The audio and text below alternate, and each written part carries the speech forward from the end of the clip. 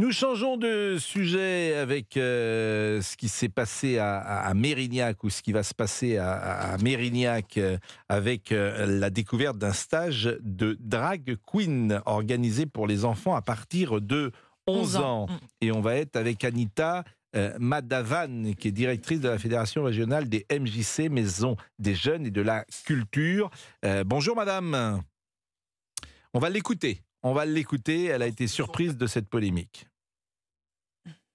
La fédération régionale et le conseil d'administration est surpris, très surpris de tout ce que ça génère. C'est de s'essayer, de se questionner sur qu'est-ce que ça veut dire qu'être habillé comme ci ou comme ça. Et de le faire pour se questionner. Et de le faire si on en a envie.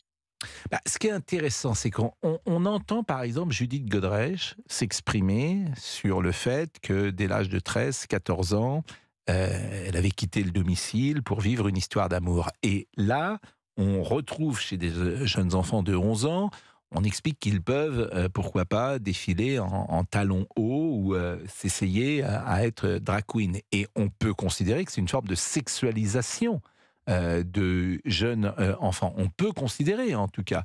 Mais nous sommes avec Yann qui voulait intervenir sur ce sujet parce que Yann, vous êtes un drag queen ou une drag queen? D'ailleurs, je ne sais pas comment on, on dit un ou une. Bonjour.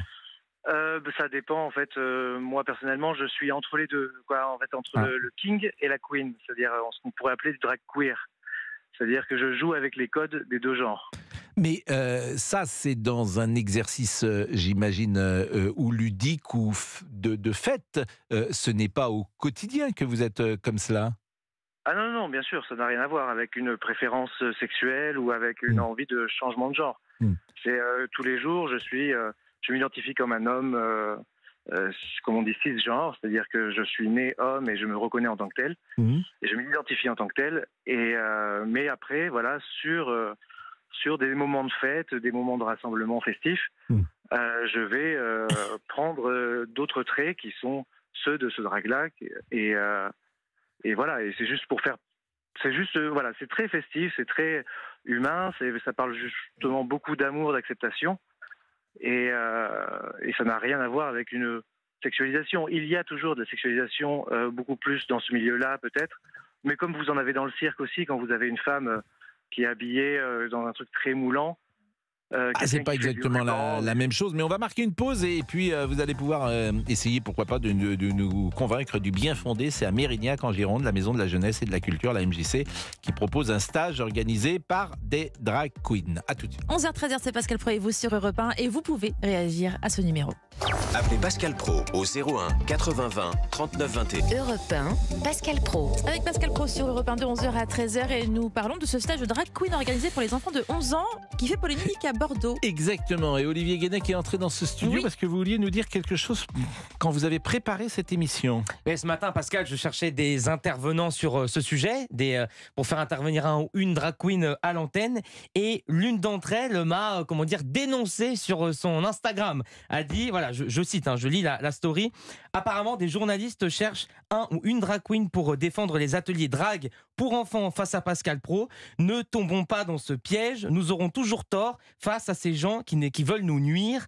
Allons dans les médias qui nous défendent. Voilà, ça veut tout dire, je crois. Mais hein. alors ça, c'est formidable. Allons dans les médias qui veulent nous défendre. Mais, mais en plus, euh, vraiment, je, je, c'est triste de, de, penser ça parce que je, trouve que les drag queens, euh, euh, c'est festif. mais ils ne veulent parler qu'aux gens avec qui ils sont d'accord. Mais, mais, mais, alors, la, question, elle n'est pas pour des drag queens dans des fêtes de la musique. ça peut exister de temps en temps ou dans des. non pas la fête de la musique, comment ça s'appelle la, grande. La Gay Pride. La Gay Pride, pardonnez-moi. Mm. C'est pas ça le problème. Le problème, c'est pour des gosses de 11 ans. Ça. Donc là, on peut s'interroger, forcément, et c'est légitime de s'interroger, me semble-t-il.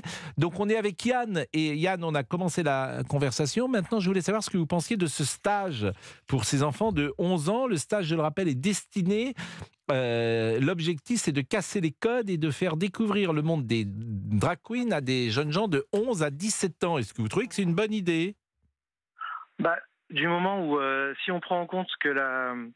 En fait, on se travestit tous à un moment donné. Quand, euh, je pense qu'on a tous mis vers entre 6 8 ans les talons de notre mère, on a essayé du rouge à lèvres, on a, on l'a tous fait en cachette, sauf que là, on Non, pas en cachette, on a le d'ailleurs, vous avez raison, on fait ça entre 6 et 8 ans. Vous avez parfaitement raison, c'est vrai. Donc on le fait, on le fait tous. Donc euh, là, c'est juste qu'on autorise de le faire. Et euh, d'après ce que j'ai compris sur ce stage, euh, ce n'est pas euh, nécessairement euh, un changement, euh, quoi, une exploration du genre opposé à celui euh, qui nous définit.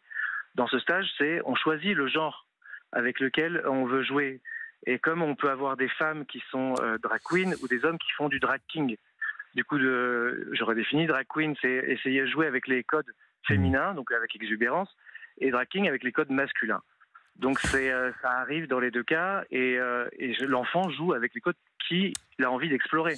Mais et ça n'a rien à voir avec euh, sa sexualité. On a des hétérosexuels qui pratiquent le drag. Je vous remercie grandement Yann, il est 11h34.